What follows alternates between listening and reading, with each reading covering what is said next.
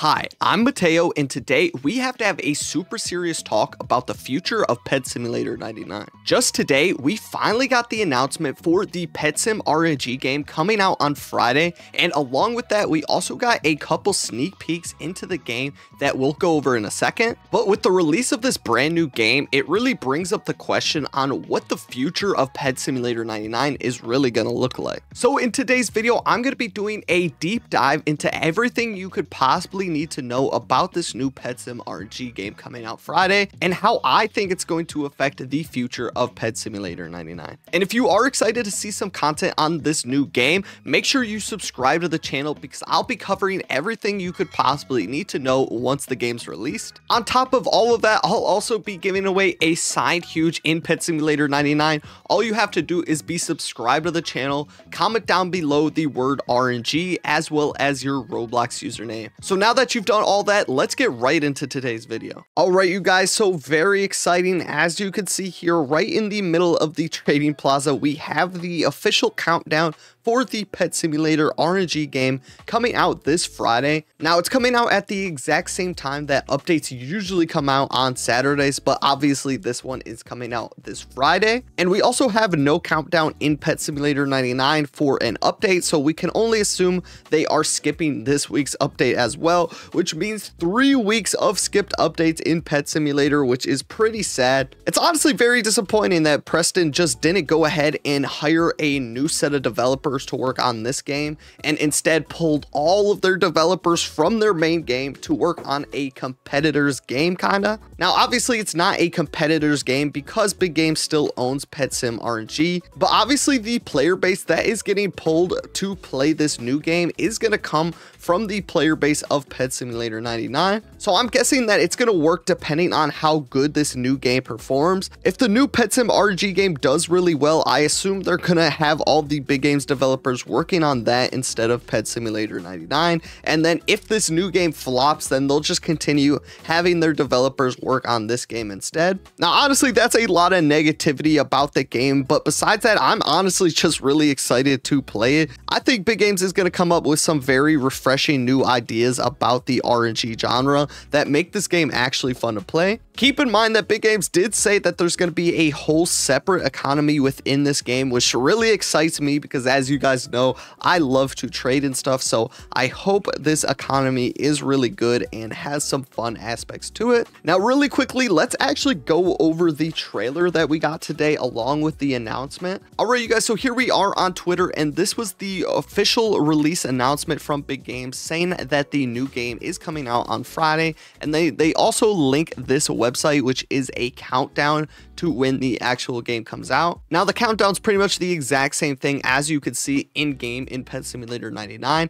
And then attached was this video here. Now, obviously, this is just like the lobby of the new Pet Sim RNG game. So we can't really get all that information. But I actually did go ahead and do a deep dive into this video and took some notes on specific things that you guys should probably notice and expect to see in this new game on Friday. So really quickly here, you could see the formation of these clouds up top really looks like some sort of obby to me. So I'm not sure if this is going to give you some sort of bonus reward like there is in other games. I definitely don't think these are just aesthetic clouds. It definitely seems like something you're going to be able to jump on because of how like close they are and how they have this like circular formation around this lobby area. And then next up, we also have this like windmill here in the background. So this is just like one of the aesthetic things it kind of seems like. I'm not sure if this actually has any significance at all, but Besides the green grass and other objects around, there's not really many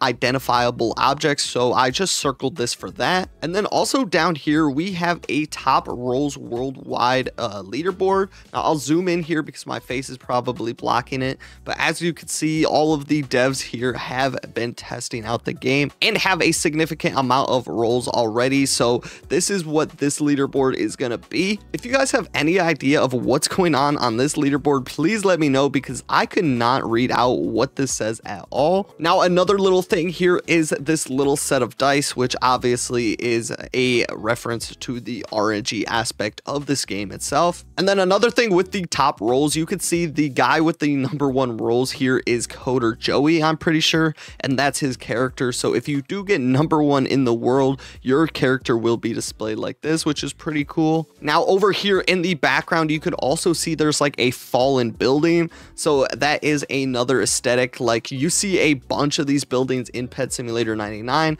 So this is going to be something that's included in the background scenery, at least of the lobby in this new game. You can also see another one of those dice like hidden in the background here. So not sure if there's going to be something over here that we can't see from this angle. And then of course we have the first pay to win aspect of the game right here off the bat that you can find in the lobby, which is the lucky game pass, which is going to boost your luck with rolls, obviously. So nothing too crazy there. We have one of these game passes in Pet Simulator 99. Now moving on to the right side of the scene, there really isn't all that much in here, but bear with me you guys. Now i kind of like double circled this here so don't think this is like any sort of weird symbol but there is some sort of like giant dice here in the background as well like in front of this mountain. It looks like there's just a giant dice that might be out in the water so this is just like a background aesthetic and then on top of that they also have the cat golden fountain from pet simulator 99 if we head over here into the real world i can actually show you that if you guys don't understand what that reference is from. Okay, I guess the fountain is actually gone and replaced with these dice. I did not know that. My bad. But as you guys probably remember, there's usually a golden fountain here that has a cat on it, and that is the exact same one from the lobby here in the new Pet Sim RNG game. Now, probably the biggest piece of information that we did get from this trailer is the fact that you are going to be able to send and receive gifts. So we can only assume there's going to be some sort of trading system within this game. So the fact that you're going to be able to trade things by sending things in the mailbox on top of the fact that they said there's going to be a whole separate economy does give me hope that there could be some significance to this game. And then the last thing that I circled in this entire image here is just this stack of gold coins that is on the right side here. Obviously, these are assets that they use in the main Pet Simulator 99 game, so nothing too special. And it's kind of funny that they actually are reusing all of these assets that they have from their other games, so they're not really even creating anything new. It really makes you wonder what they've been spending their time on all this time that they've not been working on Pet Simulator 99. If all the assets from their new game have already been created before and they're just kind of moving them around and copy and pasting them. Either way, that is pretty much it. Let me know down in the comment section whether or not you guys are excited for this game. And remember, I will be covering all sorts of stuff on the new game here on the channel. So make sure you are subscribed for that. And also let me know down in the comments section whether or not you would want me to stream the opening of this game when it actually comes out on Friday. So besides that, I hope to see every single one of you guys on Friday when I come out with some new videos on this brand new game. Thank you guys so much for watching. I'll catch you in the next one and peace out.